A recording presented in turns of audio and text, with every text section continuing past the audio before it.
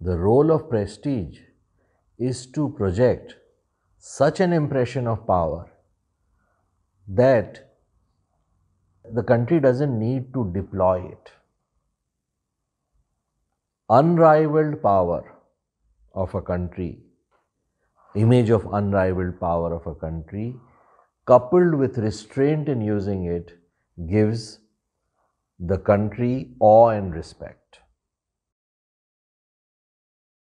This kind of moderation also increases the longevity of power.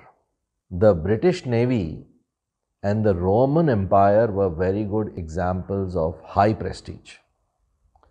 They were considered so formidable that adversaries hesitated to attack these nations.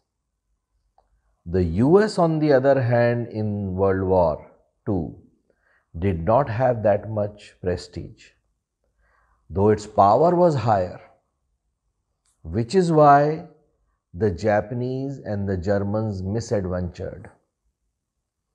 If you wish to know more, read Politics Among Nations by Hans Morgenthau or my book, How a Good Person Can Really Win.